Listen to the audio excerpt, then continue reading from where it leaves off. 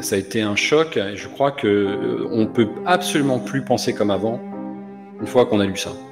C'est quelque chose, il y a un avant et un après. C'est quelque chose qui vous bouleverse complètement et qui vous fait revoir toutes vos certitudes, toutes vos convictions antérieures.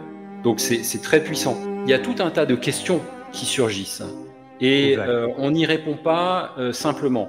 Et je ne crois pas à des solutions définitives ou une espèce de société idéale à laquelle on arriverait euh, à, la fin de l'histoire. En revanche, je pense qu'il faut identifier clairement où se trouve la spoliation et, et je pense qu'elle est dans l'État.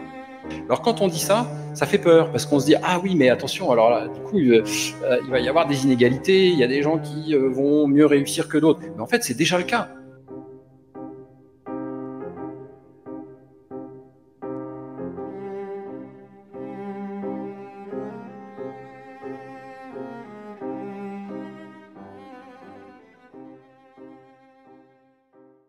Cet été, en marge des Jeux olympiques et de l'actualité militaire, parlementaire et sociale, accordons-nous un temps de réflexion sur un sujet profond. L'anatomie de l'État, un livre exceptionnel de Murray Newton Rothbard, découverte d'un ouvrage indispensable en compagnie de Damien Tellier, Premier extrait, ce que l'État n'est pas, ce que l'État est. Deuxième extrait, comment l'État se préserve. Troisième extrait, comment l'État transcende ses limites. Quatrième extrait, ce que l'État craint, comment les États interagissent entre eux. L'histoire, course entre pouvoir étatique et pouvoir social. Plus grand danger pour l'État est la critique intellectuelle indépendante.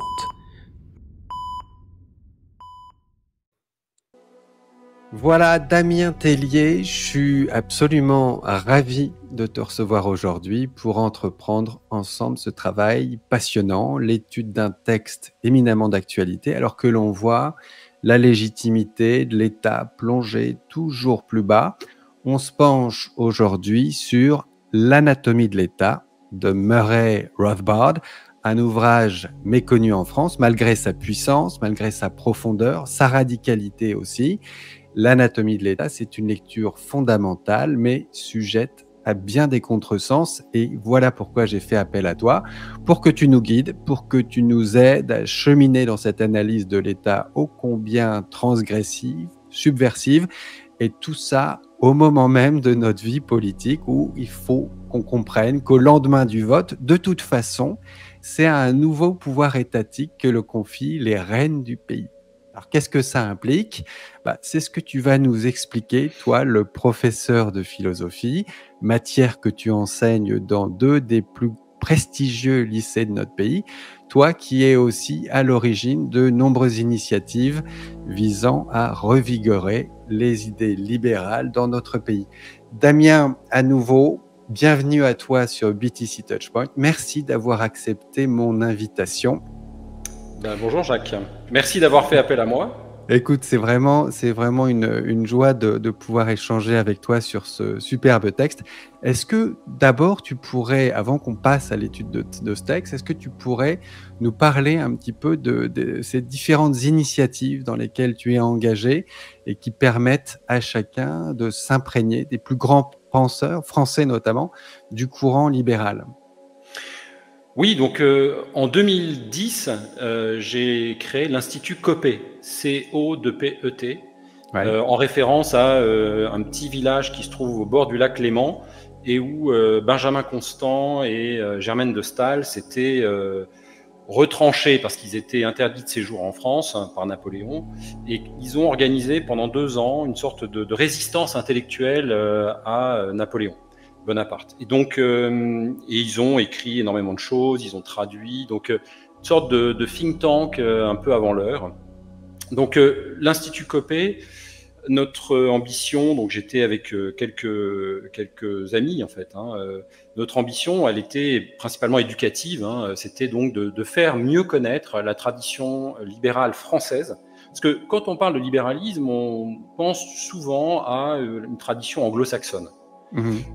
Et on oublie que qu'en France, il y a eu de très très grands penseurs libéraux, qui étaient souvent aussi des philosophes d'ailleurs. Hein, par exemple, Turgot, euh, Jean-Baptiste C, étaient d'abord des philosophes, puis sont devenus des économistes, euh, parce que euh, parce qu'ils ont compris qu'il fallait s'ouvrir justement aux sciences et que la, science économique n'existait pas encore pleinement, qu'elle avait besoin d'être construite, d'être développée. Donc, on a eu l'ambition donc de, de, republier en fait tous ces auteurs du passé, du 18e et du 19e, qui ont été oubliés, occultés et qui étaient quasiment introuvables. Hein, c'est ça, euh, c'est une, mine de documents assez impressionnante, hein, euh, en, libre accès. Oui, c'est ça, c'est-à-dire qu'on a euh, mis en libre accès tous les, tous les, les livres numériques en EPUB ou en PDF, et on peut les acheter aussi en, en livre papier sur Amazon. Je dois dire qu'il y a un an de cela, et je m'étais prêté au même exercice de, de, lecture et de commentaires d'un ouvrage de Rosbard qui s'appelait État qu'as-tu fait de notre monnaie? Et, c'est un, document que j'avais trouvé sur, sur votre site, sur euh, l'Institut Copé. Ouais. Voilà, qu'on peut aussi euh, acheter euh, en, en, livre papier sur Amazon. Superbe. Ouais. Donc ça, c'est l'Institut Copé. Il y a d'autres initiatives. oui. Hein? Alors oui, c'est-à-dire que cinq ans après, en 2015, donc là, j'ai créé l'école de la liberté, Mhm. Euh, un projet plus, euh, en fait, euh, centré sur des vidéos, sur des cours en vidéo. Donc, pour essayer d'aller toucher des gens qui ne lisent pas forcément, et il y en a beaucoup. mais donc, l'idée était de diffuser un ensemble de cours sur des sujets très variés touchant la liberté, en fait. Donc, moi, j'ai fait un cours sur Bastia, sur Frédéric Bastia. Donc, il y a eu un cours sur l'histoire des idées économiques, il y a eu un cours sur les grands penseurs de la liberté. Enfin voilà. Donc, euh, ça, je me souviens avoir exploré un petit peu et on est sur des, euh, des petites séquences vidéo très courtes, assez punchy, qui se, qui se prêtent bien à des écoutes dans la journée dès qu'on a un petit moment. C'est plutôt sympa et c'est assez enrichissant. Hein. Voilà. Donc là, euh, l'idée, c'était de couvrir un petit peu l'ensemble des sciences humaines. Euh, sociologie, sciences politiques, euh, anthropologie, etc. Donc là, on a, on a une chaîne YouTube où il y a 250 vidéos, donc c'est quand même assez important. Et puis finalement, il y a ce site-là, plus récent peut-être, sur consacré à Bastia, non? Oui. Alors ça, c'est un site personnel que j'ai lancé là pendant la période Covid. c'est donc frédéricbastia.fr et c'est une manière, euh, je dirais, euh, ludique un peu de, faire connaître euh, sa pensée, ses grandes œuvres, et puis d'écrire des articles un petit peu d'actualité à la lumière de Frédéric Bastiat. Ok. Bon, bah écoute, c'est parfait. On va mettre pas mal de, pas mal de liens et, pour permettre aux, auditeurs de, de trouver toutes ces ressources. Euh, ce que je peux dire, moi, c'est que en te découvrant, j'ai découvert vraiment un amoureux éperdu de la liberté. Tu consacres ta vie professionnelle à l'étudier, à partager ton intérêt pour la chose, et bonté divine, c'est par la philosophie que tu découvres Bitcoin. Alors, est-ce que tu peux nous raconter un petit peu? Parce qu'il y a cette soif de liberté qui t'anime. Ça te fait prendre un billet, si je comprends bien, pour le Mises Institute, où tu vas découvrir euh, l'économie autrichienne. Et ça, naturellement, ça te mène à, Bitcoin. Est-ce que tu peux nous raconter un petit peu le contexte? À quel âge? Euh, Comment ça se passe pour toi? Oui, bah, je dirais, euh, c'est toujours la philosophie qui m'a conduit parce que c'est la passion euh, qui, euh, m'a toujours animé.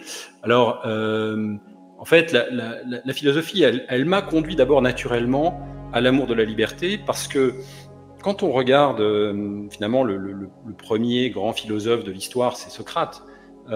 Socrate, c'est celui qui enseigne à penser par soi-même, donc à être indépendant, à se libérer finalement des tutelles des sophistes comme de du conformisme, de l'opinion. Et, donc ça, c'est vraiment un fil conducteur qui m'a conduit donc à, faire des recherches hein, et à, essayer donc de, développer au maximum cette pensée critique. Et, et c'est vrai que j'avais été marqué, alors petite anecdote, hein, j'avais été marqué dans mes études à la Sorbonne par un cours qui avait été donné sur la justice. Et dans ce cours, bah, en fait, on avait eu droit à du John Rawls pendant toute l'année. Hein, John Rawls, c'est celui qui a écrit une théorie de la justice, donc c'est un livre majeur au XXe siècle. Mais, euh, mais j'étais pas satisfait parce que j'avais l'impression, en fait, de, en, lisant John Rawls, de, lire au fond d'une sorte de, de keynésianisme, de, où l'État-providence était justifié. Bon, voilà. Et puis, euh, à la fin d'année, le prof, qui s'appelait Alain Renaud, nous avait dit alors, il existe quand même des opposants à John Rawls, des critiques de John Rawls, et il avait cité euh, Murray Rosbard et Robert Nozick. Mhm. Et en fait, euh, moi, je m'étais dit, ah bah tiens, ça, ça c'est intéressant, parce que là, au moins, on va avoir un débat, on va pouvoir un petit peu mettre à l'épreuve cette, cette, théorie de la justice. Et donc, en, en lisant Robert Nozick et, Murray Rosbard, je me suis rendu compte que j'étais complètement d'accord avec eux et que euh, voilà euh, la, théorie de la justice de John Rawls ça me, tombait des mains alors que je trouvais beaucoup plus stimulant j'avais l'impression que ça me rendait beaucoup plus intelligent en fait de lire euh, Rosbard et Nozick mhm. donc donc voilà après j'ai essayé donc de, de voir ce qu'il y avait derrière tout ça c'était deux deux intellectuels qui se présentaient comme libertariens. Qu'est-ce que ça voulait dire être libertarien? Et aux États-Unis, il y avait, euh, parce que c'est un courant américain, il y avait deux grands instituts. Il y avait le Cato Institute et le euh, Mises Institute. Donc, euh, j'ai été les visiter tous les deux. Hein. Je, suis allé à Washington pour le Cato Institute et à, Auburn en Alabama. Et, et c'est vrai que j'ai trouvé des, choses fantastiques dans les deux, mais je suis plus naturellement attiré par euh, tout le, travail qui a été fait par l'école autrichienne, euh, qui, euh, qui bon, pour des raisons qu'on va pouvoir peut-être développer un petit peu, hein, moi, l'apport de, de Mises, en fait, je crois qu'un élément fondamental, c'est l'attachement euh, à la tradition justement libérale française. Euh, Mises était très euh, connaisseur de Frédéric Bastiat, de Jean-Baptiste okay. et, et, Murray Rosbard, dans son Histoire des idées économiques, a accordé une place très très importante à la France, plus importante même que l'Angleterre. Et, et, chez Rosbard, il y a aussi quelque chose qui, qui est très important, c'est que c'est vraiment un philosophe. On va en parler, hein, mais c'est autant, autant Mises est un pur économiste. Alors certes, il a quand même aussi euh, une, naturellement une tendance à la philosophie, mais chez, chez Rosbard, c'est assumé et c'est vraiment développé comme tel. Ok, bah, parlons-en euh, de ce texte, hein, donc Anatomie de l'État. On est là, on est là pour lire et commenter ce, ce, travail. Donc tu as mentionné Murray Newton Rothbard, donc l'auteur. Euh, est-ce que tu peux nous parler un peu de lui oui. Euh, de comment il va se situer dans ce mouvement? Tu as commencé à parler de ce courant libertarien. Peut-être que c'est le moment euh, de, décrire un petit peu la singularité de ce mouvement dans l'offre politique américaine, sachant qu'on n'a pas d'équivalent, semble-t-il, en France, ou, alors depuis peu de temps. Est-ce que tu peux nous présenter un peu cette, mouvance et puis la place que va jouer Rosbard dans ce courant? Alors effectivement, le mot libertarien est un néologisme, hein, euh, c'est-à-dire c'est calqué euh, sur l'anglais euh, libertarian. Et le, problème qu'ils ont eu aux États-Unis, c'est qu'à partir du début du XXe siècle, ceux qui se disaient libéraux étaient en fait, en fait des, des sociodémocrates et des keynésiens. Donc favorables à l'intervention de l'État, favorables à, à l'État-providence, à la redistribution, etc. Donc en fait, les libéraux classiques se sont retrouvés devant une difficulté, c'est qu'ils euh, n'étaient pas en fait en phase avec ce libéralisme, euh, américain. Donc ils ont cherché. Ils sont fait un peu, ils sont fait un peu dépossédés de leur. Euh. C'est ça. C'est comme aujourd'hui, quand en France on parle de libéralisme, tout le monde confond et, confond avec le, néolibéralisme, qui est une espèce de coalition entre l'État et les grandes entreprises. Mmh, mmh. Ça n'a rien à voir avec le libre marché, en fait, hein, euh, avec le laisser-faire. Voilà, en fait, c'est ça. C'est-à-dire que les libertariens, ce sont ceux qui sont attachés à la tradition du laisser-faire. Tradition qui remonte au 19e et au 18e siècle. D'accord, ok. Mais ils vont peut-être pousser plus loin. Alors, on va le voir justement avec Rosbard, on va en parler. Hein, Rosbard, c'est peut-être celui qui pousse le plus loin le curseur vers l'état zéro.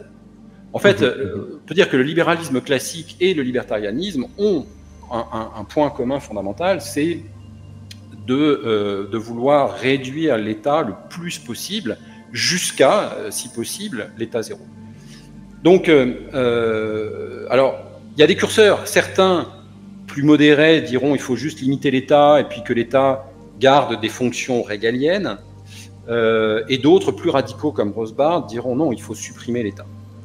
Alors, on va voir un petit peu ses arguments, hein, on va en parler, mais peut-être pour le présenter un petit peu, euh, il, euh, il, est né en 1926 et il est euh, de parents immigrés. Le, son, père était polonais, sa mère était russe. donc ça, c'est quand même important parce qu'on voit qu'il y, y, a une, une forte influence de l'Europe Hein, euh, donc euh, dans la, dans la pensée de, de Rosbard, parce qu'il est mhm. issu hein, euh, directement de l'Europe. Alors, dans les années 50, il va suivre un séminaire de Mises. donc Ludwig von Mises, qui a immigré aux États-Unis, il va suivre pendant plusieurs années donc un séminaire. Après avoir obtenu son doctorat d'économie à l'université Columbia, et donc ça, ça va avoir une influence absolument fondamentale sur toute sa pensée. Puis il va fonder un cercle d'études et de réflexion qui s'appelle le cercle Frédéric Bastiat. Donc déjà, on voit aussi hein, l'importance qu'il pouvait accorder à la pensée de Frédéric Bastiat. Dans le même temps, il enseigne dans une école d'ingénieurs, donc c'est vraiment alors à Brooklyn, voilà une petite école qui n'était pas très connue, mais voilà, il va donner des cours pendant, euh, pendant 20 ans dans cette école, dans les années 60-70.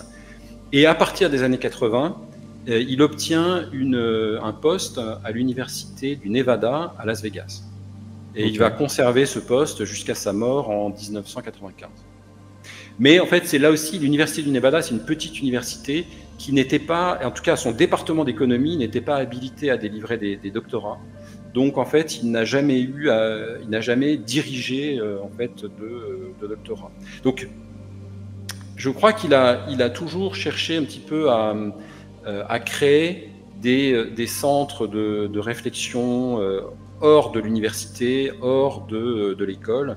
Et, bon, et c'est comme ça qu'il a énormément. c'est intéressant. C'est comme si les circonstances ne lui avaient pas permis de déployer la puissance de son analyse dans, dans le dans un cercle académique. académique où il aurait pu finalement s'enfermer et il a été à la rencontre du monde réel, entre guillemets, euh, pour, euh, oui, parce que, infuser au fond, C'est lui qui a contribué à la naissance de, du Cato Institute, euh, et puis c'est lui ensuite qui a créé l'Institut von Mises à, à Auburn, en Alabama.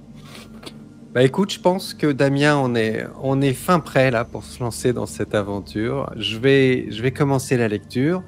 Et puis, si ça te convient, on se retrouve à la fin du premier extrait. Allez, on en reparle calmement dans un instant. On démarre. L'anatomie de l'État, Murray Newton Rothbard. Traduction Stéphane Gérès et Davy Merlis. Note des traducteurs. Entre l'anglais américain et le français, les mots government et administration sont inversés, le premier correspondant à l'administration française et le second à notre gouvernement. Dans cette traduction, nous avons donc tenu compte de ce faux ami en allant plus loin pour mieux faire le lien avec notre vocabulaire local. Government a ainsi été, selon le contexte, traduit par État, l'abstraction, ou par administration, plus opérationnel et bureaucratique, alors que governmental a donné lieu à étatique, exemple fonction étatique, ou public, comme dans le service public. L'anatomie de l'État, Murray Newton Rothbard. Citation Le plus grand danger pour l'État et la critique intellectuelle indépendante. Murray Rothbard. Ce que l'État n'est pas. L'État est presque universellement considéré comme une institution de service social. Certains théoriciens vénèrent l'État comme l'apothéose de la société. D'autres le considèrent comme une organisation aimable, bien que souvent inefficace, pour la réalisation de buts sociaux. Presque tous le considèrent comme un moyen nécessaire pour atteindre les objectifs de l'humanité, un moyen à comparer au secteur privé et qui souvent gagne cette course aux ressources. Avec l'ascension de la démocratie, l'identification de l'État à la société a redoublé jusqu'à ce qu'il soit courant d'entendre des propos violant presque tous les principes de la raison et du bon sens, tels que nous sommes l'État. Le terme collectif nous, utile, a permis de jeter un camouflage idéologique sur la réalité de la vie politique.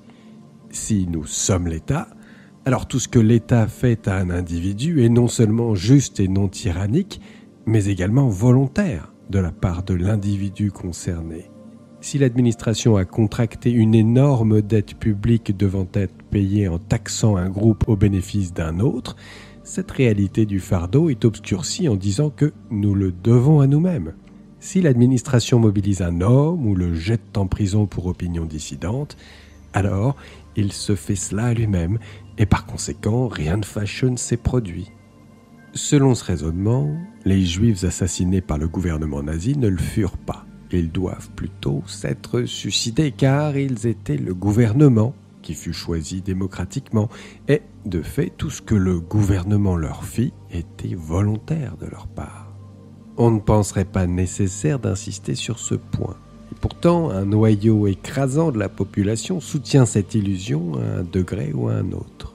Nous devons donc souligner que nous ne sommes pas l'administration. L'administration n'est pas nous, l'administration ne représente en aucun sens rigoureux la majorité de la population.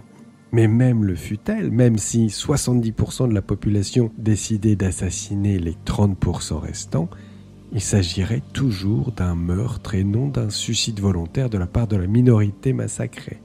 Aucune métaphore organiciste, aucune platitude non pertinente selon laquelle nous ferions tous partie les uns des autres ne doit être tolérée qui obscurcit ce fait fondamental.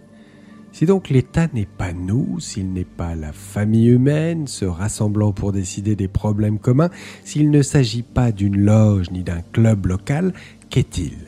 Brièvement, L'État est cette organisation dans la société tentant de conserver un monopole de l'usage de la force et de la violence sur une zone territoriale donnée. En particulier, c'est la seule organisation dans la société tirant ses revenus non pas de contributions volontaires ou de rémunération pour services rendus, mais de la coercition. Alors que d'autres individus ou institutions tirent leurs revenus de la production de biens et de services, et de la vente pacifique et volontaire de ses biens et services à d'autres, l'État tire ses revenus du recours à la force, c'est-à-dire de l'utilisation et de la menace de la prison et de la baïonnette. Ayant recouru à la force et à la violence pour obtenir ses revenus, l'État continue jusqu'à réglementer et contraindre les autres actes de ses sujets individuels. On pourrait penser que la simple observation de tous les États à travers l'histoire et dans le monde serait preuve suffisante de cette affirmation, mais les vapeurs du mythe reposent depuis si longtemps sur l'activité de l'État qu'une explication est nécessaire. Ce que l'État est. L'homme vient au monde nu, avec le besoin d'utiliser son esprit pour apprendre à prélever les ressources que lui offre la nature et à les transformer par exemple en investissant dans du capital, en forme, modèle et endroit où les ressources peuvent être utilisées pour la satisfaction de ses besoins et l'amélioration de son niveau de vie. La seule façon pour l'homme d'y parvenir consiste à utiliser son esprit et son énergie pour transformer les ressources, production, et échanger ses produits contre des produits créés par d'autres. L'homme a découvert que, par le biais d'échanges volontaires et mutuels, la productivité et donc le niveau de vie de tous les participants à l'échange peuvent considérablement augmenter. Le seul moyen naturel pour l'homme de survivre et d'atteindre la prospérité consiste ainsi à utiliser son esprit et son énergie pour se lancer dans le processus de production et d'échange.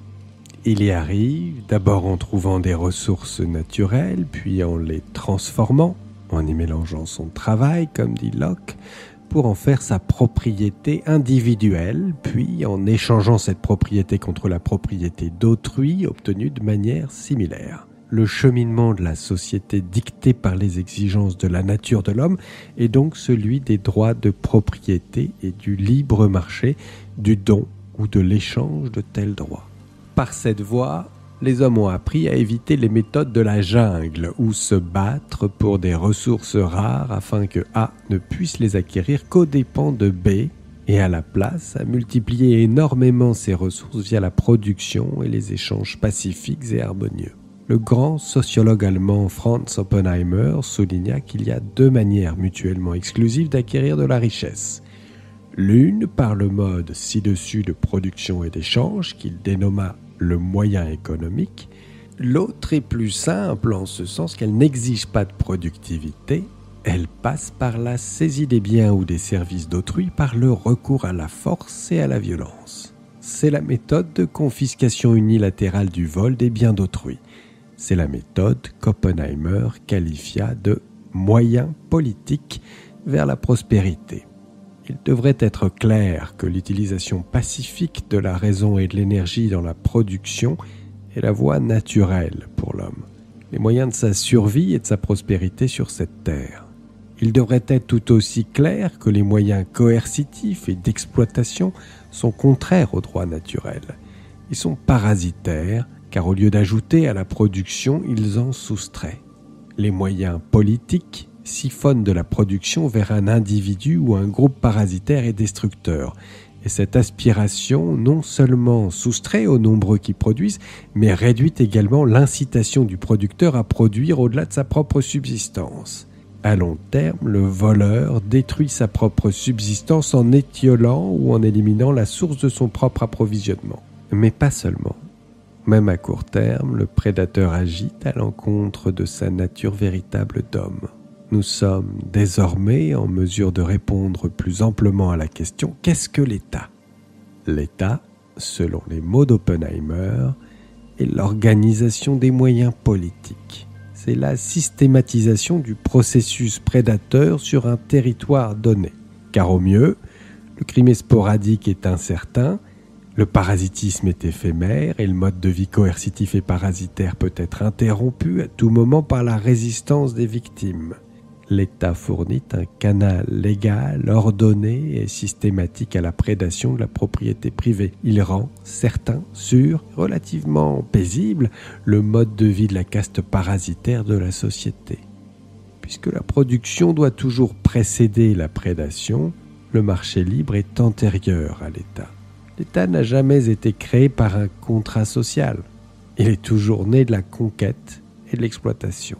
Le paradigme classique considérait une tribu conquérante cessant sa méthode ancestrale à base de pillage et d'assassinat d'une tribu conquise pour réaliser que la persistance du pillage serait plus longue et plus sûre et que la situation serait plus agréable si la tribu conquise était autorisée à vivre et à produire, les conquérants s'installant parmi eux comme des dirigeants exigeant un tribut annuel continu.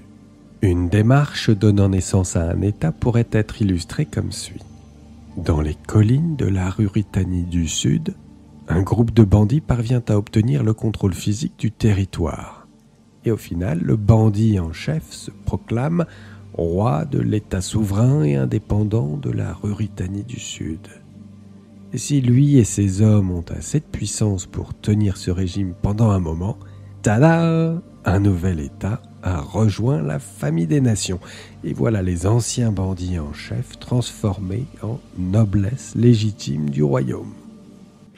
Voilà donc, euh, voilà donc pour ce premier extrait de l'anatomie de l'État de Murray Rosbard. Dis donc, Damien, ça décape à fond ce texte, c'est hyper corrosif. Tout à l'heure, quand je parlais de transgression ou de subversion, c'est pas exagéré. Hein ce premier extrait, on a beau le connaître, le lire et le relire, fait toujours son petit effet, n'est-ce pas? On a sur ces premières pages, de toute évidence, un contenu qui est déjà super percutant, assez radical, et, à mon avis, ça, demande de, ça nous demande de marquer une pause. Euh, je te propose qu'on examine déjà ces toutes premières notions que Rosbard nous transmet, euh, et on peut procéder de la manière suivante. On commence par une analyse descriptive, factuelle, euh, de ce premier extrait. En gros, tu nous en résumes les premières idées. Et puis ensuite, dans un deuxième temps, tu nous les resitues dans un contexte plus large euh, pour qu'on puisse mieux saisir l'intention de l'auteur, la portée du texte euh, et comprendre un petit peu dans, quoi s'inscrit cette radicalité. Et puis ensuite, si, ça te, si ça te convient, on pourra partager nos ressentis respectifs, notre expérience du texte, comment il nous a interpellés chacun dans nos vies. Et je t'avouerai que je suis euh, très curieux d'entendre ton point de vue de bon père de famille nombreuse, responsable et de prof de philosophie sur ces premiers paragraphes qui sont euh, clairement empreints d'une radicalité euh, assez, assez, assez violente. Quoi. Voilà, donc si ça te convient comme approche, on y va, on commence cette analyse. Je te laisse aux commandes dans, cette, dans cet exercice qui, est vraiment, qui est vraiment le tien. Donc, de quoi est-il question dans cette première partie, Damien? Ben, Moi, je, crois qu'en en fait, il commence par euh, voilà, dénoncer un mythe. C'est celui euh, de euh, l'État protecteur qui est le. Alors, en philosophie, on appelle ça le contractualisme. Hein. c'est la théorie vraiment philosophique dominante dans l'histoire alors, euh, on connaît les auteurs, hein, c'est Thomas Hobbes, c'est euh, Jean-Jacques Rousseau, par exemple, et, bien d'autres. Et en fait, l'idée, c'est de dire bah, que l'État, il est né d'un contrat, dans un contrat par lequel le, le, peuple désigne un, homme ou un groupe de personnes pour exercer l'autorité et pour apporter finalement la sécurité. Cette fameuse euh, notion de contrat social qu'on nous enseigne euh, à l'école. Voilà. Alors avec des nuances, parce que euh, par exemple pour Rousseau, la souveraineté vient du peuple, mais elle doit résider dans le peuple. C'est le peuple qui exerce cette souveraineté. Bon, mais globalement, l'idée, c'est que nous serions consentants à, l'État. Hein, c'est qu'il y aurait une sorte de consentement implicite, de consentement tacite et, que, euh, et que donc l'État serait volontaire. Bon, et là, euh, Rosbard va absolument, il prend le contre-pied complet de cette, idée.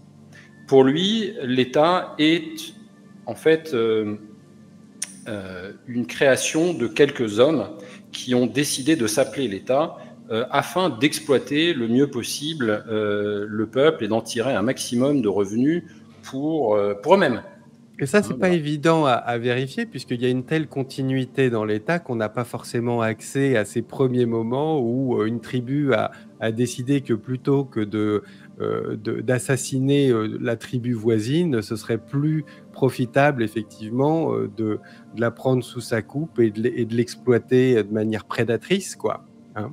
on n'a pas ces, on pas on a Il y, a toute une série d'auteurs euh, que Rosbard ne cite pas là dans, son, dans son texte, hein, mais euh, qui sont des auteurs classiques, euh, que ce soit Saint-Augustin, Étienne de la Boétie, David Hume. David Hume est un, grand historien et philosophe du XVIIIe siècle, et il explique que l'État a toujours été le produit de la force, de la violence, de la guerre.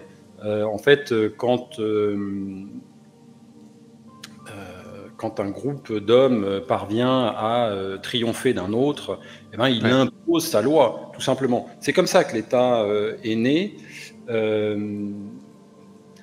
Ça, c'est la fameuse théorie de l'État bandit, c'est ça? C'est ça, la théorie de l'État bandit, oui. Euh, et ensuite, euh, évidemment, il ne peut pas se maintenir, ce groupe d'hommes à, la, tête de l'État, il ne peut pas se maintenir sans une forme d'acceptation quand même du peuple. Euh, sinon, il est confronté tout le temps à des troubles et à des révolutions. Donc, il a besoin de faire accepter son autorité et de la justifier de la légitimité, de dire que, de la légitimer, pardon, c'est-à-dire d'expliquer que cette autorité est juste, qu'elle est bénéfique, etc. Donc ça, ça va être toute la dimension de propagande qui va permettre à l'État de se maintenir, de se conserver dans le temps. Donc l'idée, c'est quand même qu'au tout début, on a des tribus qui se tapent dessus et qui euh, s'assassinent ou qui se mangent. Hein. Il y a de l'anthropophagie, on peut tout imaginer. Au bout d'un moment, il y en a qui se disent finalement, c'est peut-être pas plus mal de les utiliser. Ils vont nous rendre service. On va en faire des esclaves. Et donc, on a ce rapport de maître à esclave avec le consentement de l'esclave. C'est ça que tu décris Oui, ouais, c'est ça, tout à fait. Alors, si la deuxième que tu viens de mettre là, ce que l'État est. Là, on a une définition donc euh, que tu as euh, lu hein, dans, le passage. L'État est l'organisation de la société qui tente de maintenir le monopole de l'usage de la force et de la violence dans une zone territoriale donnée. Donc là, il donne une définition euh, qui est classique parce qu'en fait, on la trouve déjà chez quelqu'un comme Max Weber, hein, le, mhm. sociologue allemand, qui était d'ailleurs un contemporain de Oppenheimer. Et euh, donc le monopole de l'usage de la force et de la violence dans une zone territoriale donnée. Euh, c'est la seule organisation de la société qui obtient ses revenus non pas par des contributions volontaires ou par le paiement de services rendus, mais par la coercition. Donc en fait là, ce que dit euh, Rosebard, c'est qu'il n'y a pas de consentement tacite. En fait, il y a juste la force. Il y a juste, si vous ne payez pas vos impôts, l'État vous met un pistolet sur la tempe. Hein. donc euh, l'impôt n'est absolument pas quelque chose de volontaire, c'est quelque chose qui est euh, obtenu par la euh, menace, par la contrainte. alors là, ça, recoupe un petit peu ce que dit Oppenheimer sur les, les, moyens politiques et les moyens économiques. on peut survivre par l'exploitation du travail d'autrui. Ça, justement, c'est ce que fait l'État. Hein, c'est-à-dire qu'il tire ses revenus de la poche des citoyens. Hein, et non pas par un consentement volontaire, mais bien par euh, la menace. Hein, euh. donc, euh, et ça, c'est l'exploitation, hein, par définition. C'est-à-dire, qu'est-ce que c'est que l'exploitation? C'est le fait de prendre à autrui ce qui lui appartient sans son consentement. donc, c'est l'agression, c'est la violence. C'est la spoliation. Voilà le terme qu'emploie Bastia, que, que, Bastia employait au XIXe siècle, c'est le terme de spoliation. Donc en fait, il y a deux moyens de survivre, soit par la spoliation, qui est l'exploitation, soit par l'échange volontaire fondé sur la propriété, c'est-à-dire par la production, en fait. Hein, euh, où là, je, je, me mets à travailler, à créer, à produire de la richesse, puis je vais l'échanger euh, avec euh, d'autres qui, eux, sont consentants pour, pour le faire. Et donc là, on a effectivement le marché libre. il y a peut-être ici quelque chose à dire sur Marx, parce que la théorie de l'exploitation, c'est quelque chose qu'on trouve aussi chez, Marx. Hein. Tu connais la, phrase qui, euh, qui est au tout début du manifeste du Parti communiste, c'est que l'histoire de toute société n'est que l'histoire de la lutte des classes. Et euh, pour Marx, il y a une classe dominante, celle qui euh, exploite, et puis il y a une classe dominée qui est exploitée. c'est pas pas complètement faux en soi. Hein. C'est vrai que l'histoire euh, nous montre qu'il euh, y a toujours eu de la prédation, de la spoliation, des guerres, euh, bon, et donc des victimes de tout ça. Simplement, ce que l'erreur de Marx, c'est qu'il n'a pas compris ce que c'était que l'exploitation. l'exploitation, elle ne peut être que le fait de l'État.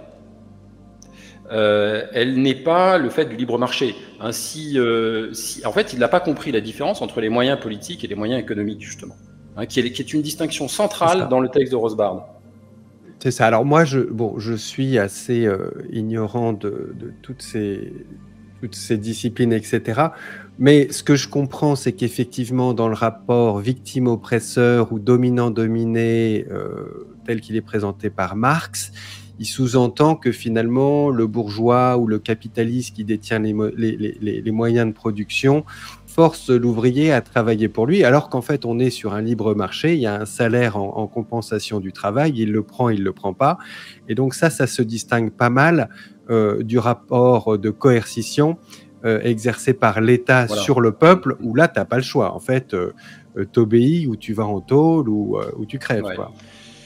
En fait, c'est ça dont tu parles? Oui, tout à fait, c'est ça. C'est-à-dire que l'exploitation, euh, si on la définit correctement, c'est une agression contre la propriété privée. C'est une confiscation de la propriété privée. Or, euh, la relation entre l'employeur et l'employé Euh, c'est pas ça. C'est au contraire un contrat. Et c'est un contrat qui n'est pas forcé. Euh, c'est un contrat qui est gagnant-gagnant. Alors, on dit souvent, ça c'est un peu la légende aussi que Marx a beaucoup euh, contribué à répandre, on dit que les ouvriers au 19e siècle n'avaient pas le choix, qu'ils étaient contraints de, de, rentrer dans les usines, etc. C'est faux. C'est faux parce qu'en fait, euh, ces, ces, ouvriers, au départ, c'était des paysans. Et ces paysans ont fui les campagnes parce qu'ils crevaient, crevaient la dalle, hmm. tout simplement. Ça, je l'ai vu en Éthiopie. Euh, il y a, il y a, en Éthiopie, il y, a, il y, a, quelques années, il y a cinq ans, j'ai passé deux ans là-bas. J'étais euh, du côté d'Awassa, dans, la, dans, dans la, la, vallée du Grand Rift, où, si tu veux, j'ai été témoin de cette réalité où, en fait, tu avais des paysans qui crevaient de faim il n'y avait plus assez de terre ou elles n'étaient pas suffisamment fertiles pour le nombre d'enfants qu'il y avait dans chaque foyer. Et donc, il y avait des enfants qui étaient envoyés à l'usine. Et les usines, c'était des parcs industriels financés par des Américains avec des salaires. On, est, on parle de salaires de 23 à 27 dollars par mois, tu vois. Euh, et, euh, et, ces femmes, ou ces, ces, ces hommes, mais c'était bien souvent des femmes, elles arrivaient à, elles arrivaient à l'usine, elles n'avaient jamais vu un néon de leur, de leur mm. vie. Elles s'étaient jamais assises sur une chaise et du jour au lendemain, elles se retrouvaient à bosser sur un atelier textile. Euh, elles n'avaient pas la notion de l'air, elles avaient appris à, mesurer le temps avec le soleil et elles se sont retrouvées là par nécessité. Euh, parce que, euh, voilà. Mais, mais, parce que justement, c'était un avantage pour, pour, pour, ces gens-là. Voilà. C'était un avantage énorme, notamment le fait d'avoir un salaire. C'est une sécurité incroyable, c'est de se dire qu'on va être payé tous les mois. Donc ça veut dire qu'on a la possibilité de se projeter dans le futur quand on est paysan et qu'on est confronté à des famines, à des euh, aléas climatiques, on n'a aucun moyen de se projeter dans l'avenir parce qu'on ne sait jamais si on va toucher quelque chose à la fin du mois. donc, euh, euh, les, ouvriers, certes, ils gagnaient pas grand-chose, mais ils étaient bien contents, en fait, de pouvoir gagner ce salaire. Et, et, la meilleure preuve que finalement c'était bénéfique, c'est qu'on a vu à partir du XVIIIe siècle, notamment en Angleterre, une explosion démographique. C'est-à-dire que les gens mouraient moins, mouraient moins souvent, mouraient moins euh, en bas âge, etc. Donc la, leur situation s'est grandement améliorée au fur, et à mesure. C'est ça. Ça reste, ça reste euh, objectivement des conditions de, vue, de vie qui, euh, de nos jours, peuvent sembler extrêmement précaires et violentes, mais en, en, relation avec avec euh, la, dureté aussi des, conditions de vie euh, agricoles. Voilà, c'est-à-dire qu'il faut, il faut comparer avec ce qu'il y avait avant, pas avec nous aujourd'hui. Peut-être à ce stade, ce qui pourrait être intéressant, c'est que tu, tu, nous aides à, resituer un petit peu euh, ce texte qui est dont, dont, le premier extrait est hyper violent en fait. Moi, je me mets à la place des, des, gens qui le découvrent, euh, comme ça a été le cas pour moi. En fait, c'est quand même hyper radical. On a un, jugement qui est porté sur l'État auquel on ne s'attend pas forcément, et, et, ça peut être intéressant de resituer euh, ce texte, l'anatomie de l'État, dans, dans, un corpus, dans le corpus auquel il appartient. Euh, ça, tu peux nous déjà nous faire un petit point là-dessus, et puis nous nous expliquer aussi de quel type de texte il s'agit. Hein. on n'est pas sur un texte économique, on n'est pas sur un texte de sciences politiques. Est-ce que tu peux nous parler un petit peu de tout ça? Oui, oui, euh, en effet. Donc euh, là, on est dans la philosophie politique, en effet, et la philosophie politique, elle se demande, elle se pose la question de savoir qui doit gouverner, qui doit prendre les décisions, et donc euh, qu'est-ce qu'un pouvoir juste, un pouvoir légitime. Euh, alors, on voit bien que du coup, la philosophie politique est normative. Elle est normative parce qu'elle cherche à définir la justice. Donc, elle, euh, elle établit des normes pour le jugement. Et donc, elle se distingue très clairement des sciences politiques ou de la science politique, qui est descriptive et qui consiste plutôt à euh, faire l'inventaire des lois, des régimes, des institutions qui ont existé dans le passé. Donc, davantage. quand tu dis normes, quand tu dis normes et jugements, c'est sur un plan moral? Alors oui, oui, absolument. En fait, la philosophie politique, c'est tout simplement un prolongement de la philosophie morale. La philosophie morale, euh, c'est la question de savoir euh, qu'est-ce que le bien et comment agir bien euh, d'un point de vue individuel tandis que la philosophie politique, c'est la même question, mais d'un point de vue collectif, c'est-à-dire comment, comment s'organiser en société et comment créer des institutions qui soient justes. Ok, donc ça, euh, ce jugement moral qui est porté du, sur l'État avec une, une violence euh, inhabituelle, euh, c'est clairement une marque de fabrique de, de Rosbard et de ce texte. Et tu me disais que pour bien le comprendre, il faut le situer dans, dans le corpus. Oui.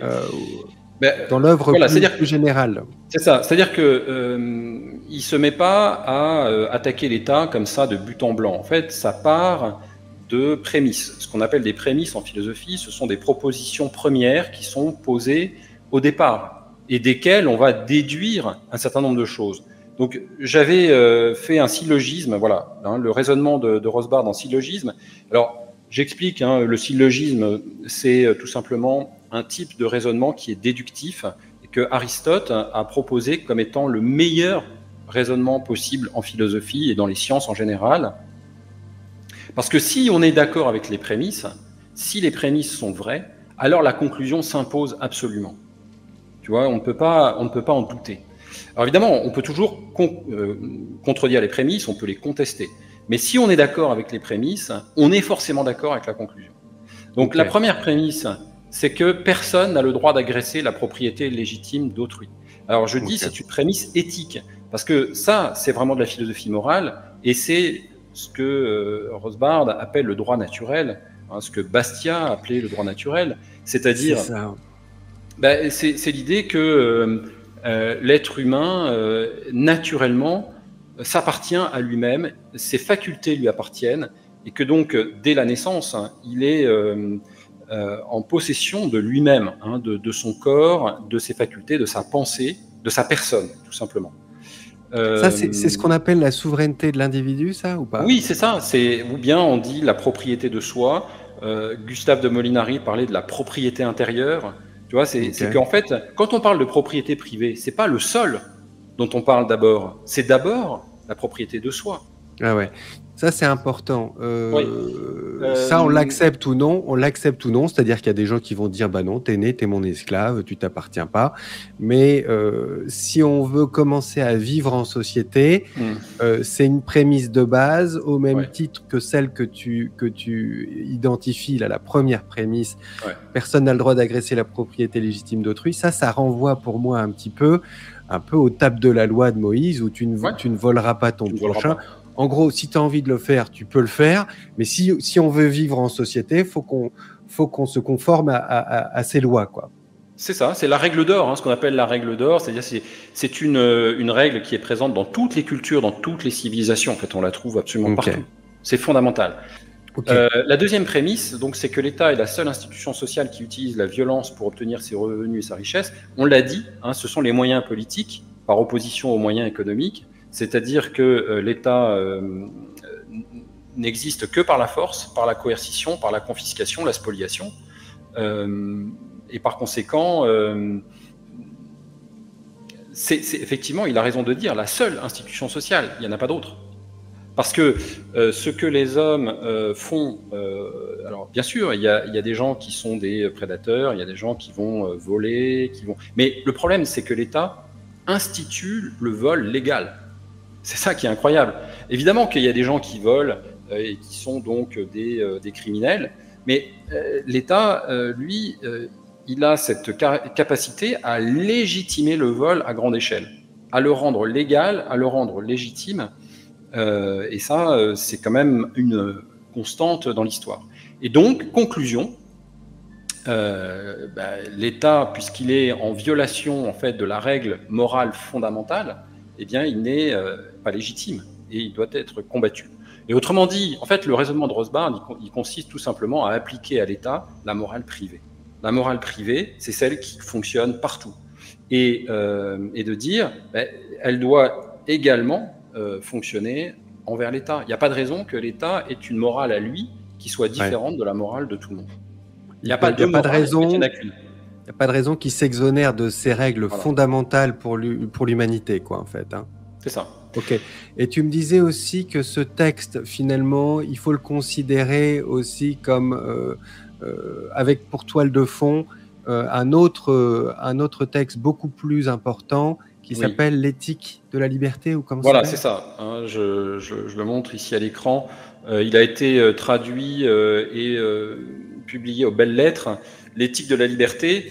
Donc, c'est vraiment un texte plus fondamental parce que justement, dans les premiers chapitres, il expose toute cette théorie du droit naturel, du droit de propriété, euh, et euh, il, euh, en donne justement les grands arguments. Et hum, donc là, on a un texte de philosophie politique complet. Dans l'anatomie de l'État, on a simplement une, je dirais, un développement, un prolongement ou une conséquence de ces éléments fondamentaux. C'est ça, on n'a pas forcément accès à toute l'argumentation logique, etc. Ok, ouais, moi je voudrais, je voudrais maintenant qu'on échange l'un et l'autre un petit peu nos expériences subjectives de ce texte, comment il nous a touchés chacun? Euh, toi, probablement en tant que, jeune philosophe, un peu intrépide, puis bon père de famille et enseignant responsable, qu'est-ce qui te frappe, toi, dans ce premier passage au moment où tu le découvres pour la première fois? Est-ce que d'abord tu te souviens du moment où tu as lu ce texte pour la première fois? Quel effet il a produit? Et comment tu le vis? Comment ça résonne aujourd'hui ce texte euh, en toi? Oui, bah, moi effectivement j'étais j'étais étudiant euh, en philosophie et donc euh, ça a été un choc. Je crois que on peut absolument plus penser comme avant une fois qu'on a lu ça. C'est quelque chose, il y a un avant et un après. C'est quelque chose qui vous bouleverse complètement et euh, qui euh, vous fait euh, revoir toutes vos certitudes, toutes vos convictions antérieures. Donc c'est très puissant. et j'ai connu un peu le même choc après en lisant Frédéric Bastiat, hein, que, j'ai découvert par la suite, parce qu'en fait, dans mes études de philosophie, on m'en a jamais parlé. Bon, il se trouve que là, j'ai eu la chance d'avoir un prof qui m'a parlé, qui nous a parlé à la Sorbonne de Robert Nozick et de Murray Rosbard, par contre, Frédéric Bastiat, j'en avais absolument jamais entendu parler, donc il a fallu que j'attende pas mal d'années avant de le découvrir. Et euh, alors, donc c'est un choc, et en même temps, une fois le choc passé, on se dit mais euh, est-ce que est-ce c'est raisonnable, est-ce que c'est réaliste, est-ce que c'est possible, est-ce qu'il y a euh, est-ce qu'il y a eu dans l'histoire des sociétés sans État? Euh, et finalement, si l'État existe partout, euh, il doit bien y avoir une bonne raison pour, le, pour, laquelle il existe, bon, etc., etc. Donc là, il y a tout un tas de questions qui surgissent. Et euh, on n'y répond pas simplement. Il faut du Moi, temps. je suis en plein dans ce questionnement. Hein. Je suis en plein ce questionnement. Oui, voilà. Non, mais c'est ça. Je trouve, je trouve que le, qu'effectivement, cette lecture est immensément riche et, et, et, elle a un impact sur nos vies. Elle nous met en mouvement. Elle nous met dans, dans un questionnement euh, qui, est, qui est loin d'être un questionnement binaire. Hein. Il y a une réflexion euh, qui se veut assez nuancée, je pense, pour arriver à une, une appréciation de quelle est l'utilité de ce texte dans nos vies? Et là, on est dans une période de l'histoire qui est aussi assez euh, importante, où, où, ce texte nous donne un éclairage un peu, un peu, un peu pertinent, quoi, non? Oui, oui. Alors, évidemment, euh, il ne faut pas euh, s'imaginer que euh, la société sans État, ce qu'il appelle, lui, la, société de droit privé, tout simplement, ou la société libre, hein, elle peut arriver comme ça d'un claquement de doigts. Peut-être d'ailleurs qu'elle n'arrivera jamais. peu importe, en fait. Hein. ce, qui est, ce qui compte, c'est de tendre vers. Est-ce que, parce que, bon, moi, personnellement, hein, si, je dois donner un, jugement personnel, euh, je ne crois pas qu'on puisse euh, faire disparaître complètement la spoliation euh, ou la prédation, quelle que soit sa forme, qu'elle soit légale, c'est l'État, ou illégale. Je pense qu'elle existera toujours. Autrement dit, les injustices, l'exploitation, la domination, ça fait partie de l'histoire, la violence, ça existera toujours. Et je ne crois pas à des solutions définitives ou une espèce de société idéale à laquelle on arriverait euh, à, la fin de l'histoire, comme le communisme euh, ou autre chose. Euh, donc, en revanche, je pense qu'il faut identifier clairement où se trouve la spoliation, et, et je pense qu'elle est dans l'État. Et que c'est la plus grande forme de spoliation dans toute l'histoire, c'est l'État. hein, bien au-delà de, de tous les crimes privés, hein, entre guillemets. C'est ce que tu me disais l'autre jour en préparant cette émission, c'est-à-dire que euh, le fait de gagner en lucidité sur cette réalité, sur cette dimension prédatrice de mm. l'État qui a toujours tendance à, étendre davantage sa mainmise sur, mm. sur, sur, la, sur, la, vie privée, sur l'individu, cette, cette, lucidité peut nous amener à considérer euh, peut-être pas des alternatives totales, mais en tout cas des chemins qui permettent d'en réduire euh, la nocivité euh, en, considérant que les hmm. prétendus services sociaux qui rendent au collectif, ce sont avant tout des services à la personne qui peuvent être, dans de nombreux cas, rendus aussi bien, sinon mieux, euh, par, par d'autres acteurs, notamment des acteurs privés, c'est ça? Oui, c'est ça. C'est-à-dire que, alors, il y a deux choses. Il y a d'une part, supprimer l'État, ça ne veut pas dire supprimer euh, la, la, police, la justice, l'armée, la sécurité, les infrastructures, euh, les ponts, les, etc. Non, euh, ça veut dire simplement qu'on privatise. Ça veut dire qu'on laisse le marché prendre en charge ses fonctions. Ces fonctions qu'on appelle les fonctions régaliennes, c'est comme la monnaie. Hein, on peut parler un petit peu de la monnaie et de Bitcoin. Euh, lorsque la monnaie est captée par l'État et que l'État détient le monopole de la création monétaire, il s'ensuit tout un tas d'effets pervers dont on voit euh, très bien les, signes et les manifestations aujourd'hui, euh, l'inflation, l'appauvrissement, la spéculation effrénée, l'hédonisme, etc. Parce que les gens euh, eh bien, n'ont plus confiance dans la monnaie et n'ont plus confiance dans l'avenir, en fait, tout simplement. Donc là, si on laisse les individus s'organiser pour créer de la monnaie euh, et euh, pour, euh, pour la stocker ou pour l'échanger, etc., eh bien, les choses s'améliorent. Donc, bah, c'est la même chose pour ce qui est de la justice, de la police, de l'armée. L'idée, c'est pas de les supprimer, mais c'est de permettre au libre marché de produire à des coûts qui sont les coûts du marché, de produire ses services parce que ce sont des services dont nous avons besoin. C'est ça. Juste un petit mot pour compléter ce que tu disais sur Bitcoin. Euh, là, je suis en train de te parler à toi. Tu es un philosophe euh, amoureux de la liberté. Tu as consacré ta vie professionnelle. Euh, moi, je suis un, acteur du développement, de la prétendue aide et développement, aide au développement. Je, je, suis expert dans ce domaine sur les questions d'eau et d'assainissement.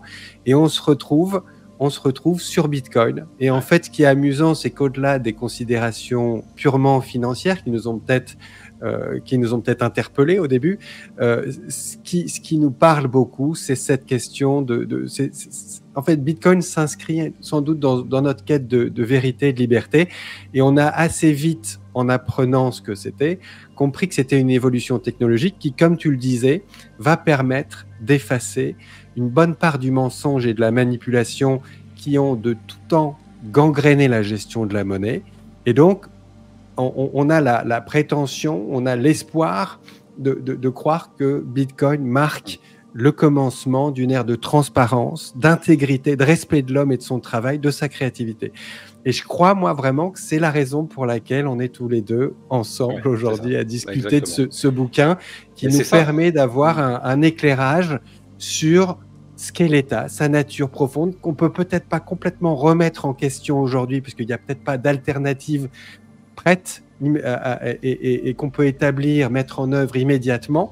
Mais ce regard critique, lucide sur cette douloureuse réalité peut nous permettre de faire des choix qui seront plus, euh, qui seront qui seront meilleurs pour tous. Quoi. Ben oui, qui seront plus responsables parce que ces choix seront plus libres euh, et, moi, là, je, voudrais peut-être pour conclure euh, rappeler aussi que Javier Milei en Argentine se revendique de, euh, de la paternité de Rosbard, de Murray Rosbard.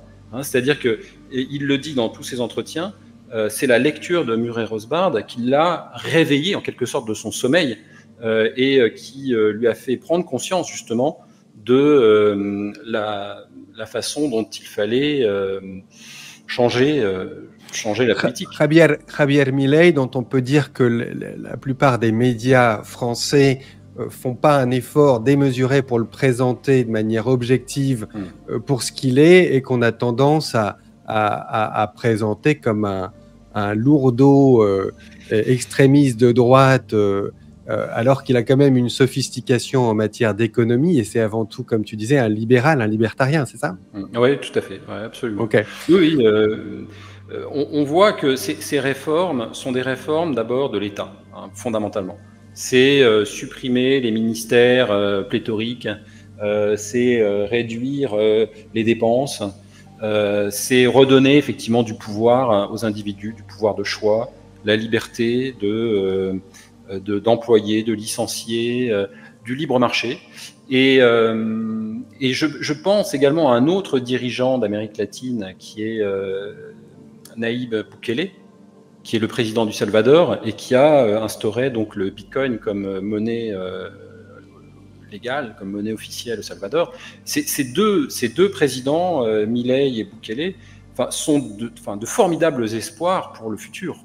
C'est quelque chose d'assez extraordinaire, quelque chose dont on n'aurait même pas rêvé il y a, il 10 ans, il y a 20 ans. Enfin, on n'imaginait pas que ce soit possible.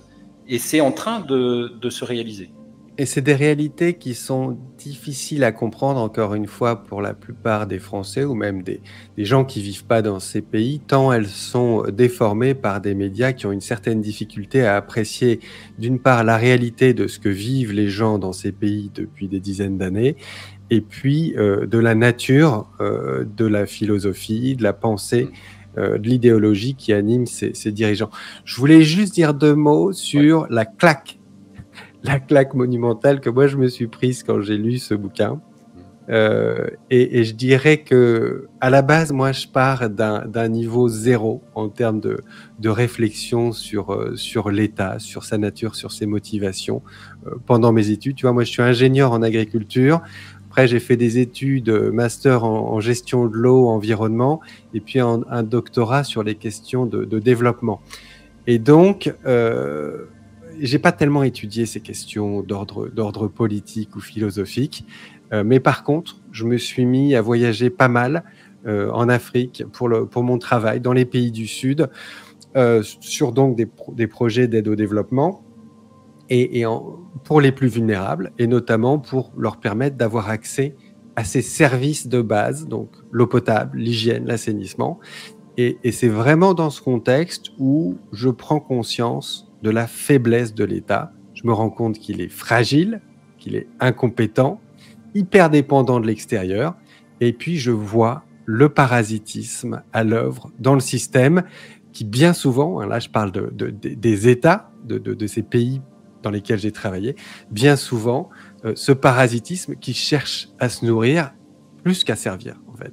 Hmm. Et donc, il y, a eu un moment euh, finalement assez récent, euh, ça, doit dater de 2000, 2020, oui, c'est ça, où j'écoute le fondateur d'un bureau d'études assez connu, un gars hyper doué, qui arrive pratiquement à l'âge de la retraite, qui est hyper respecté dans le milieu, qui a mené des études vraiment importante euh, euh, pour, pour, la Banque mondiale ou d'autres clients comme ça. Il connaît bien son sujet. Et puis, alors qu'il s'apprête à partir en retraite, il confie, sans langue de bois, euh, à toute son équipe. il leur dit, vous savez, l'État, dans la plupart des pays où vous allez bosser, il est en état de mort cérébrale. Il est en perfusion, il y a son masque à oxygène, et puis ça fait des décennies que ça dure. Et puis il leur dit, mais vous savez, gaspillez pas votre énergie sur l'État, c'est peine perdue. Il est, littéralement, il dit ça. Il leur dit, concentrez-vous sur les entreprises, concentrez-vous sur le privé, le gouvernement local à la limite. Parfois, il y a des maires, il y a des équipes municipales qui se bougent vraiment. Euh, bossez un petit peu avec la société civile aussi, mais concentrez-vous sur les entrepreneurs. C'est là qu'il y a les forces vives. Et donc, moi, au moment où j'écoute ça, euh, je suis assez sonné parce que c'est un message qui me semble tellement vrai, mais c'est un message tellement rare dans ce, dans ce secteur où, en fait, tous les experts consultants qu'on est, on est totalement dépendant de la manne publique, de tous ces projets qui sont négociés entre gouvernements et qui impliquent nécessairement de travailler pour et avec cet État qui est totalement défaillant.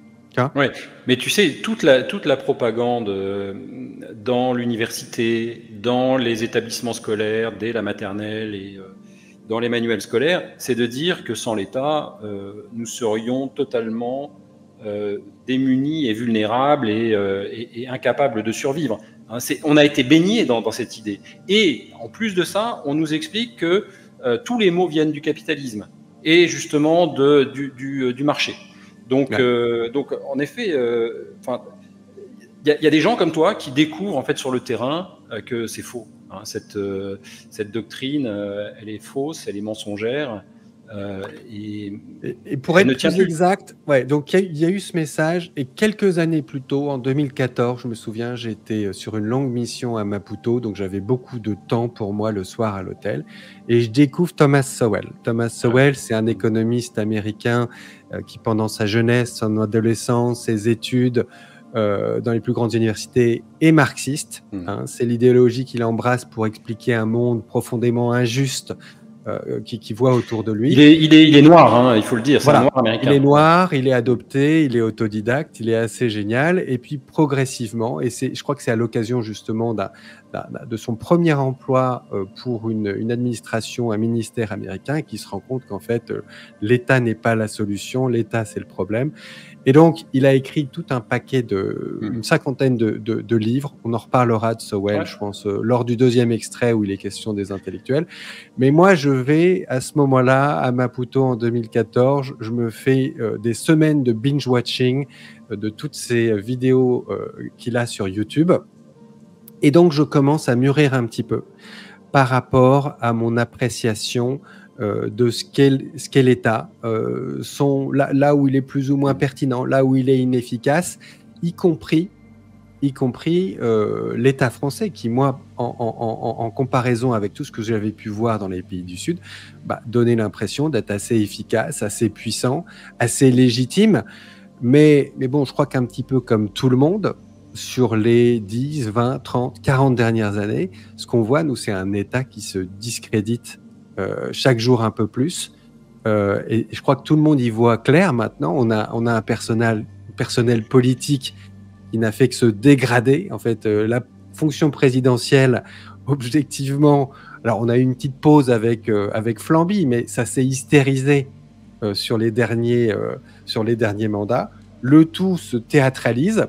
Et donc, on a, on a un empereur qui est quasiment nu devant tout. Oui, mais si tu veux, ce qui est, ce qui est très euh, trompeur, c'est que tous les candidats aux élections, tous les partis politiques sont étatistes. Donc, euh, les gens n'ont pas, n'ont absolument pas de porte de sortie. Enfin, tu vois, pour voter euh, autrement. Il n'y a pas de Milley, il n'y a, a, pas de Boukele.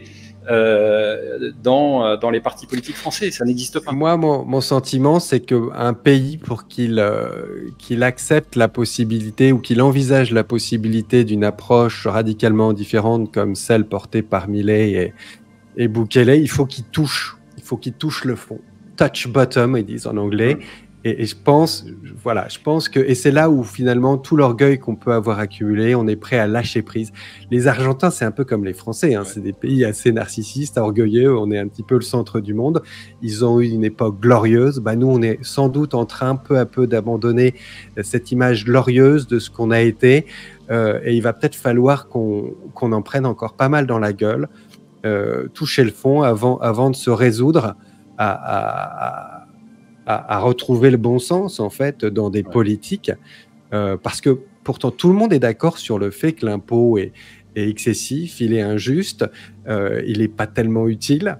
Euh, tout le monde mesure aussi le, gouffre qui, n'a cessé de se creuser entre ceux qui bossent, toutes ces entreprises qui, si elles restent pas compétitives, elles, elles, se cassent la gueule, et puis l'État qui ne cesse de, de, de, de s'étendre et puis d'augmenter son, son train de vie. Pour, euh, pour résumer simplement, hein, euh, aujourd'hui, on a un État qui nous prend en fait euh, la majeure partie de, de, de, la richesse créée en fait, hein, et qui, avec cet argent, nous, nous, nous paye nos retraites, nous paye notre assurance maladie, nous paye nos logements, etc. Là, ça, c'est vraiment l'étatisme pur. Et ce qu'on peut souhaiter, c'est que l'État, en fait, nous laisse payer nous-mêmes, en fait, euh, avec le fruit de notre travail. C'est au lieu de le, au lieu de le, de le prélever, euh, c'est de, de, laisser aux, euh, aux, Français le fruit de leur travail et de leur donner la responsabilité de d'assumer eux-mêmes leur retraite, leur assurance santé, leur logement. Alors quand on dit ça, ça fait peur parce qu'on se dit ah oui mais attention alors là du coup il va y avoir des inégalités, il y a des gens qui vont mieux réussir que d'autres. Mais en fait c'est déjà le cas. C'est déjà le cas aujourd'hui. Il, y a des, il y a des rentes, il y a des, il y a des catégories d'individus qui sont protégés euh, et, et, puis d'autres qui sont euh, complètement euh, exploités. C'est ça. Ça, ce sera, on en parlera lors du deuxième extrait. Et puis par rapport à ce que tu dis, effectivement, moi, bien souvent, j'ai eu ce réflexe de penser, mais on a quand même de la chance en France avec avec tous ces filets de secours, là, ces filets sociaux euh, qui nous protègent, etc. Mais en fin de compte, on, on, on observe bien quand on se compare avec d'autres pays euh, que toute cette protection qui nous est imposée, qu'on ne peut pas choisir, en fait, elle fait de nous des, des, des animaux de zoo euh, qui deviennent passifs, résignés, et, et, et, on perd tout cet élan de vitalité. Cette, on n'est plus en mouvement, on n'est plus en mouvement, et, on, voilà. On, perd ce contact avec la réalité. Euh, je, pense, je pense vraiment que, ce texte euh, dont on, ne cessera de souligner la violence, euh, ça vaut vraiment le coup de, de le lire, de s'en imprégner, et puis chacun va se l'approprier à sa façon. moi, ce que je retiens vraiment, c'est que c'est une chance énorme pour s'extraire d'un état d'ignorance d'aveuglement et de naïveté quant à la véritable nature de l'État, un État qu'on voit plus parce qu'il nous imprègne tout notre environnement. On est un petit peu en état d'hypnose. Euh, on a l'école, on a toute notre culture en fait qui, participe à, une programmation euh, mentale qui nous empêche de voir cette chose qui crève les yeux pourtant.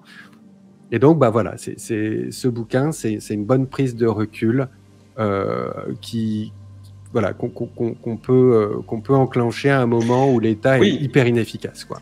Et il faut quand même préciser, hein, donc ce petit bouquin, euh, on peut le trouver donc euh, en version papier aux éditions Résurgence, mais c'est un livre qui, qui fait quoi 10-15 pages? 50 pages. Ah, 50 pages. Bon. 50 pages, mais ça se lit très vite. Oui, c'est ça. Ce sont des tout petits chapitres de, de 2-3 pages, hein, donc euh, donc c'est très accessible. Et puis, euh, et puis en effet, bah, merci euh, Jacques d'avoir fait la lecture de ce, de ce livre. Donc, pour permettre à chacun de pouvoir justement l'écouter en podcast, par exemple, dans sa voiture, c'est très, c'est très agréable et, et ça donnera envie effectivement d'aller plus loin. Voilà, eh bien, euh, Damien, on se retrouve euh, très bientôt pour euh, lire et commenter le deuxième extrait de, ce, de, cet ouvrage où il sera question des intellectuels, des idéologues, de tout, tous ces individus, toutes ces ressources que l'État achète pour conserver, préserver sa légitimité. On en reparle très bientôt. Merci. À bientôt, Damien. À bientôt.